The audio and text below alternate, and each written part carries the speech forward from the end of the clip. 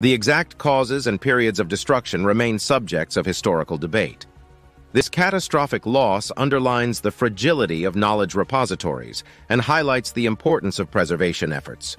The library's destruction also symbolizes the irreplaceable intellectual heritage that was lost, including potentially unique works on philosophy, sciences, and arts.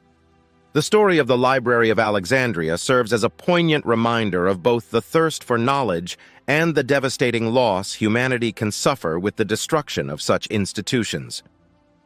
Number 14. The History of Ancient Roman Plumbing one of the greatest engineering accomplishments of the Romans was their complex system of aqueducts and plumbing. Contrary to popular belief, Romans didn't actually invent the system, but they did perfect it, building vast networks of lead and stone pipes, sewers, and aqueducts. The Romans were pioneers in developing sophisticated systems for public health and sanitation, often lauded as one of their most significant contributions to civilization.